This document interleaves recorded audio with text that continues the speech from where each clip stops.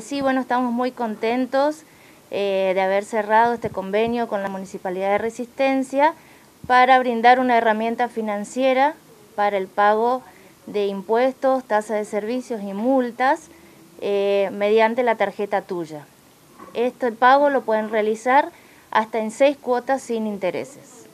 Ya está funcionando, ya se pueden acercar a la caja municipal a poder realizar los pagos en el caso de aquellos usuarios en que em, por ahí no posean el límite disponible, se pueden acercar a cualquier sucursal o llamar al 0800 de tuya para poder incrementar ese límite y poder acceder así a estas facilidades de pagos.